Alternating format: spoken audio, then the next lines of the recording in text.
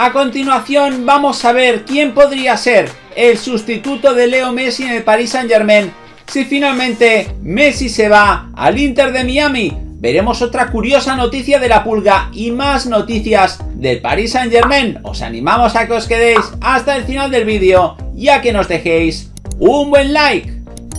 ¡Vamos a ello!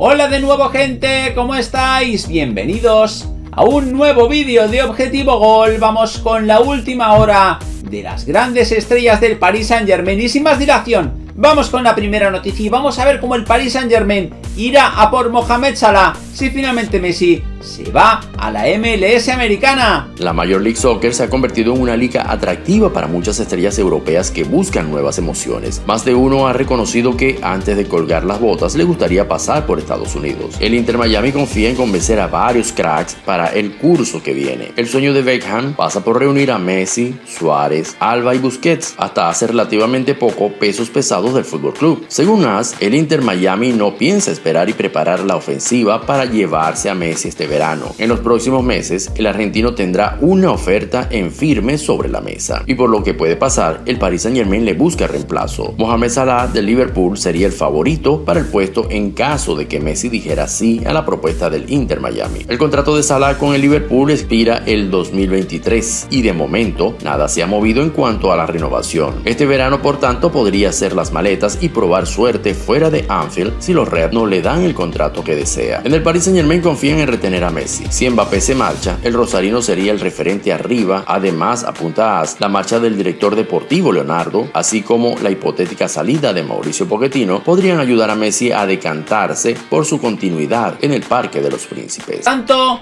esta es la noticia. Vamos a seguir hablando de Leo Messi y del supuesto tatuaje del argentino que ha dado mucho que hablar redes sociales. En la previa del sorteo del Mundial de Qatar 2022, Lionel Messi publicó un video en su cuenta personal de Instagram y generó polémica en las redes sociales por un supuesto tatuaje que dio que hablar. El crack argentino protagonizó una publicidad de la pelota oficial que se usará en la próxima cita mundialista y en un momento determinado lució un polémico tatuaje en alusión al Mundial que se viene. Vamos 2022 fue la frase que se destacó en una de las piernas de Messi, junto al dibujo de la pelota de Rilha que se utilizará en Qatar. Automáticamente los hinchas argentinos repudiaron este video. Pero ¿por qué hubo enojo en los fanáticos de la selección argentina? Todo pasa por un tema de cábalas antes del mundial. Se anula cualquier tipo de mufa, escribieron los hinchas. Mirá. Y es que aquí podéis ver el supuesto tatuaje en esta publicación de Instagram de TNT Sport Star Vamos a hablar ahora de las palabras de Karl-Heinz Rummenigge sobre el último partido de Champions del Paris Saint-Germain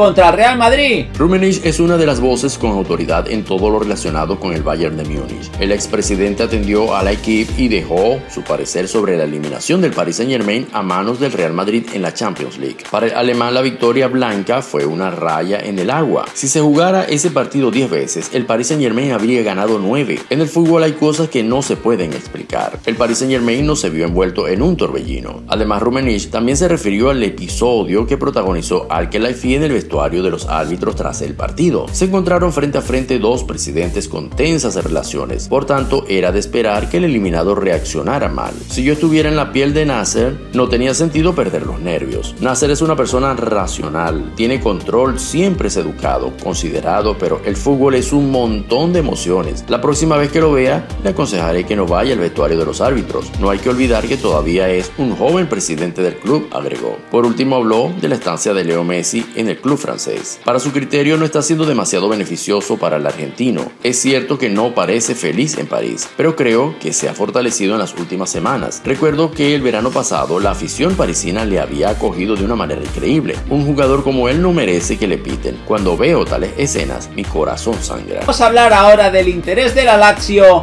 en Sergio Rico El Lazio tiene un ojo puesto en la planificación de la próxima temporada y entre sus planes está fichar a un portero. Desde hace un tiempo atrás se habló de Kepa y ahora de Sergio Rico. Según apunta la Gaceta de los Sport, el sevillano propiedad del Paris Saint Germain está cedido en el Mallorca y Mauricio Sarri le ha dado el visto bueno a su contratación. En un principio la prioridad para el técnico era Kepa porque lo tuvo a sus órdenes en el Chelsea, pero conforme ha ido pasando el tiempo el interés ha ido a menos. Asimismo, la citada fuente señala que Sergio Rico no tendría problemas en salir porque Donnarumma y Keylor Navas son intocables. Vamos a hablar ahora de otro fracaso del Paris Saint Germain en materia de fichajes. La eliminación del Paris Saint Germain en octavos de final de la Champions League ante el Real Madrid ha sacado a la luz debilidades del proyecto millonario del gigante de París, unas que carcomen a la entidad desde dentro y que han tenido y tienen una trascendencia crucial en algunos de sus fracasos. De estos, como es lógico, hay que mirar a su máximo gestor, Nasser Al-Khelaifi, y si se habla de algunos relacionados con la planificación o Kylian Mbappé, ahora ha salido a la luz uno más que confirma la mala tendencia. Y es que el medio de comunicación francés Le Parisien ha advertido que el Paris Saint Germain trató de hacer un fichaje del más alto rango mediático, pero fracasó. Y el resultado fue fallido porque el jugador en cuestión se negó a jugar en el líder de la Ligue 1 y de ahí parten muchos de los defectos que afean la iniciativa del equipo capitalino, la Liga Francesa. Kylian Mbappé, amén de su sueño en blanco, dice que argumenta a su entorno que la competición gala no da la talla como otras en Europa. Otros tantos jugadores a los que se le ha acercado el equipo francés, han negado al Paris Saint Germain precisamente por ese motivo. Y el jugador del que hablamos no fue menos. El citado más media, Galo, anuncia que N'Golo Kanté rechazó en enero fichar por el Paris Saint Germain precisamente por no querer dejar una competición del máximo prestigio, como es la Premier League, por la de su país de procedencia. Como ven, este problema que ya ha afectado a otros jugadores, como el mismo Erling Haaland, que se ve tentado por lo económico del Paris Saint Germain, pero no por la Ligue 1, sigue latente. Así es cierto que el Paris Saint Germain tiene el dinero y el proyecto más ambicioso, al menos uno de los más importantes de Europa. Pero ciertos jugadores de clase mundial sienten la liga francesa como un paso atrás, lo que echa por tierra muchas de las iniciativas de los parisinos. Evidentemente, con Giorgino Wijnaldum, Sergio Ramos, Leo Messi, Gianluigi Donnarumma o el mismo Neymar Jr., esto no fue un obstáculo, pero ciertas estrellas del balompié necesitan que la competitividad sea máxima en cada partido, no solo en la Champions League, con todos los respetos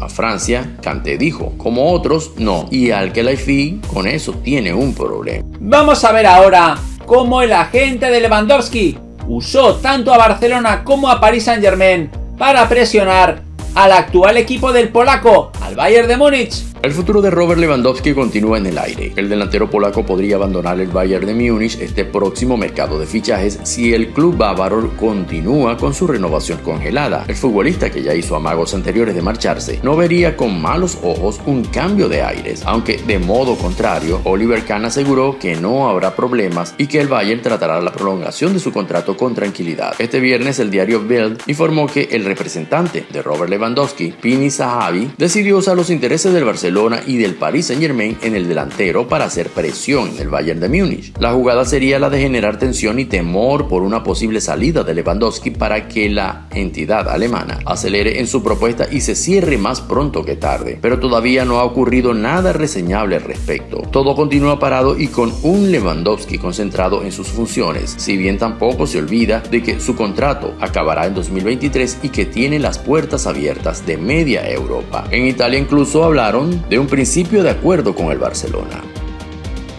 Nada más por el momento, como siempre animaros a que os suscribáis al canal para seguir viendo todos nuestros vídeos. Y aquí os dejamos este vídeo más que interesante para que sigáis disfrutando de todas las noticias del fútbol. ¡Hasta la próxima!